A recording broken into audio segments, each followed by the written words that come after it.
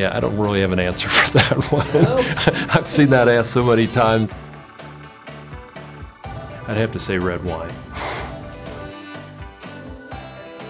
I'd have to say I have a number of them. I'm very into gardening. I enjoy art. I'm an oil painter. Uh, passion of mine is travel. We've seen 48 states with our children, and we're going to see Alaska this fall. I'm very interested in kayaking and you know, outdoor adventures. Favorite movie of all time is Titanic. Art, actually. I really enjoyed the art classes that I took. It gave me a little break from all the science. I've always had a weakness for Whoppers, malted milk balls. Oh, I probably said rock on a lot.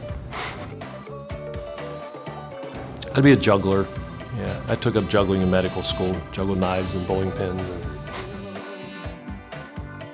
Well, I still wear them sometimes, much to the chagrin of my daughters, but I, I, I, never throw anything away. So I have my old tube socks and my old short shorts. I wear them sometimes to work in the yard.